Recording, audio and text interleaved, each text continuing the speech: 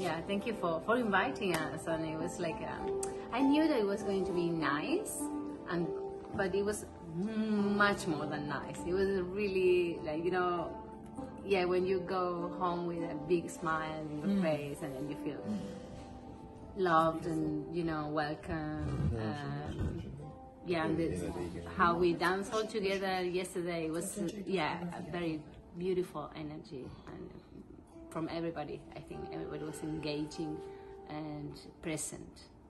And I think you were meditating and making yoga and the bushwork. So everything, I suppose, it was building. And then when we, when we came to, to teach the tango lesson, you were prepared for everything.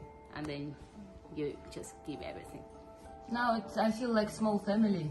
Yeah. It does. Thank you very much for joining, and we will continue. You.